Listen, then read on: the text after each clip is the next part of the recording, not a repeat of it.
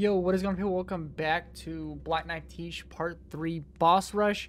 Right now, we're about to make Black Knife Tiche fight one of her own, and we're going to see if she comes out on top or if she's going to get her ass beat. Let's figure it out right now. Get him, Tiche. It says New Game Plus, so I, feel like it should be a little bit of a matchup, you know what I'm saying? No one's hitting it. No one's, no one's able to land anything. Oh, never mind. Tiche is landing everything, and the assassin's landing nothing.